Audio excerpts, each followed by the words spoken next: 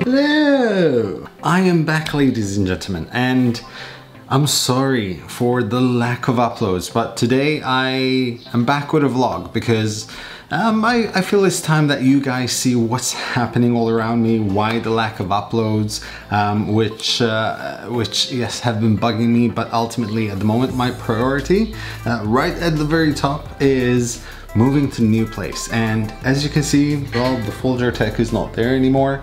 Um, and wait, hold on. Remember all the printers that I had here? Well, they're not here anymore uh, because I've started moving all the stuff to new place. Um, so I only have like the bare necessities here that I would need to use um, if, if a client orders something or if I have a little project which I'm working on at the moment. However, something really awesome um, is happening. First of all, look, see, I have proof. Boxes everywhere. Uh, but most importantly, that thing right there that's what we're gonna go see. This beast right here um, was very, very generously, uh, not given to me before you start screaming. Uh, this is on loan. This was sent to me by 3D Prima in Sweden. I met them up at the Sweden meetup and they told me they'd be happy to send me a review unit of the very new Raise3D Pro 2. This thing is a beast. It's an absolute beast. I'm working on a really large project, which, um, yeah, well, you'll see very soon. Um, currently I'm printing like a, a, a, prototype of a box that I was asked to do. It's an ABS, so which is why it's fully enclosed at the moment. But for now, um, it's gonna stay here, it's gonna be printing, I'll be doing a review on it. Um, let me show you guys the new space.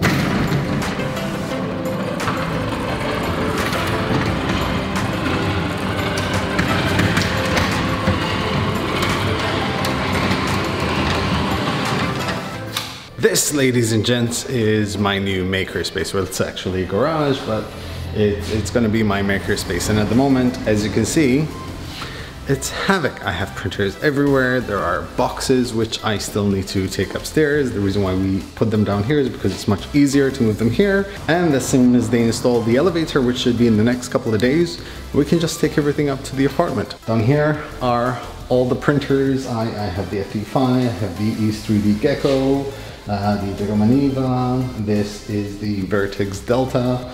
Uh, there's the uh, JGAurora A5S. That's my custom Robalo uh, printer. That's the FLSUN QQ and Cubic um, Photon. There's the Felix Tech 4. There's the Alpha YZ10. This is, well, this is a CNC machine. Um, already started putting some things in place. Um, these, those are all filaments. Um, they're not all the filaments that I have, but as you can see, it's a bit chaos at the moment. This is the main reason why I haven't been uploading lately because we're constantly moving stuff. There's the electricians coming to finish up the apartment, water services coming to install the water. There's had bathrooms that had to be finished and installed because we have to move by next week. Now in here, there's, there's another room. See now, here, this is, this is like kind of under the ramp. Um, it's more like a storage area. This belongs to my wife. She'll put her stuff in here. Uh, but this wall, this wall right here, this is where I'm going to be putting filaments. I'm going to be attaching rails um, so I can do adjustable shelves and um, I can put all my filaments there so that I can close this door, maybe put a dehumidifier in here so it's constantly dry. As for the plans I have for this place, well, this wall, this wall, this one right here, um, this is gonna have more shelving. This is where all the printers are gonna go, uh, except the ones I'll probably working imminently.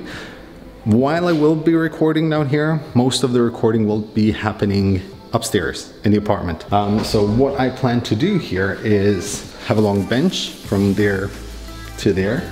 Um, it's gonna be a heavy duty bench.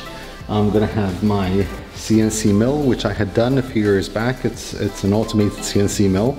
I have a lathe, uh, I have an aluminium uh, block cutter.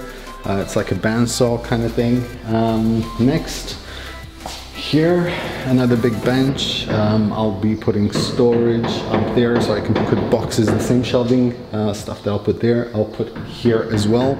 Uh, I want everything to be as organized as possible in here. Um, I'll probably have like a bench right in the middle here. Um, so I, when I record down here, which will happen quite often, um, I can sort of have everything in the background.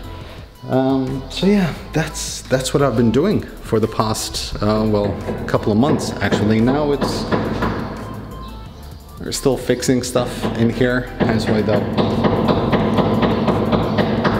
Before I go, this showed up just a couple of days ago a Robo R2. It's probably the only Robo R2 in Malta and I'm really excited to open this and try it out for you guys because I have a couple of projects to do.